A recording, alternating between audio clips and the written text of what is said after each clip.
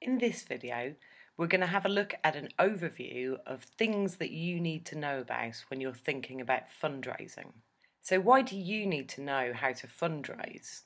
Well, fundraising is a massive life skill. You're never going to be short of a job if you can fundraise successfully.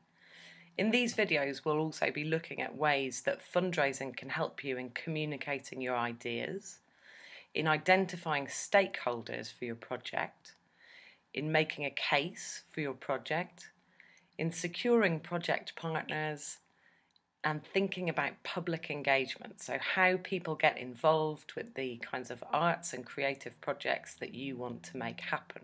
Learning about fundraising is also going to help you to achieve really ambitious projects, far bigger than you could just do on your own with your own resources. In this series, we're going to cover a number of basic strategies for fundraising.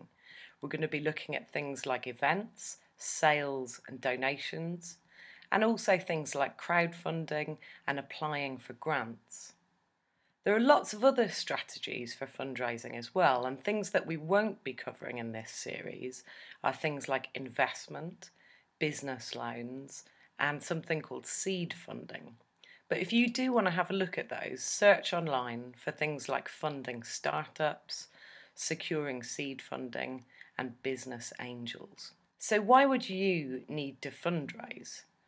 Usually, it's because you have an idea that you can't achieve on your own. So, you want to make something interesting happen and you need money for that project. It might be something like a film that you're making, or an exhibition, or an event that you want to put on.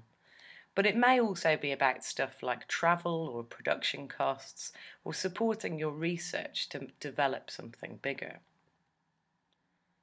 What's the first step for fundraising? I'd suggest that preparation is really the key to success. So I'm going to recommend that you watch the full video series.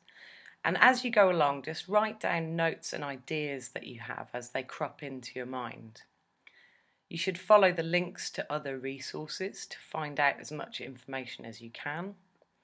And really just get tooled up to try it out. The best way to learn about fundraising is really to do it.